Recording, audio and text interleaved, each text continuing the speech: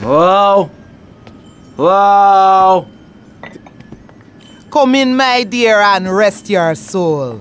You must be the big bad man my granddaddy been chatting about. Tell me things about you, you know, when he visits, and about the others who wait for you. Now, we all dead from long time, but you, I wouldn't want to be in your shoes. I got a message to come here. Can you hear them?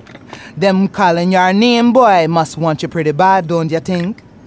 Now you do all Auntie Poulet Turner, maybe she help you. Maybe she can give you a little juju after all of this. Give you some magic to give the lawman the stink eye. hmm? Look, this is all very, um. uh, Give me what? I, I, I think I got the wrong address. Give me these things, Tommy. The Cubans, nasty proud foo-foos. Mm. Been making my lovely Haitian boys shake their heads. Now they told the policeman where me been stashing my powders. They think it drugs. Them stupid. Now be a good boy, Tommy, and go and get the powders for Auntie Poulet. Yeah, yeah, sure, sure.